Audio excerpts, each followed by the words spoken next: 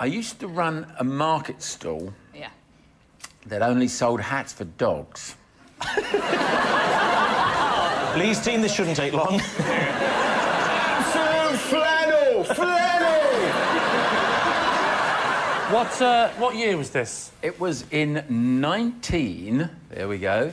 19. Long to go. Larry? Larry, we're supposed to go. Here we go. Not, You don't do it about yourself.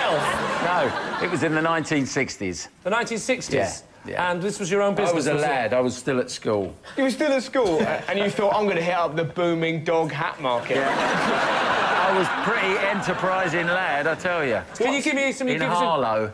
What was your top seller? Harlow. The top seller was was a plaid one, funnily enough. Yeah. Yeah. I was going to ask about sizes, because Sizes. obviously the sizes of dogs. There were only three sizes. What were they? They were well, small, small, medium, and large.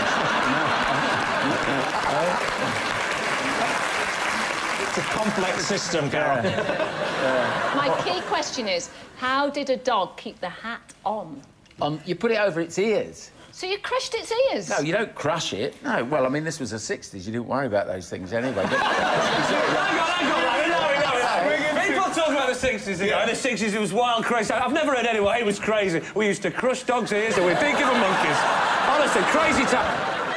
Did you make the hats yourself or did you buy them from somebody else and then sell them on? no, they were being made in China. They were being made in China. So you had links with China, despite the fact you were at school. You're chasing this life. Was it just What were dogs' doing? hats? Yeah, the main item then in the 60s, for some strange reason, in Harlow, was that all they... Oh, Only in Harlow. Lee, Lee, the moment has now come within the game Yeah. where you guess whether it's the truth You know what, or a lie. All the evidence seems to suggest. It's a great big fat porky. Yes. That'd be a good name for one of his hats. She's saying it's a lie. It's got to be a lie. Lie. I used to lie. Okay, Larry, is it the truth or is it a lie? It's a lie. It's a lie. Uh, Larry did not run a market stall that only sold hats for dogs. He was far too busy running a kiosk selling cummerbunds to kittens.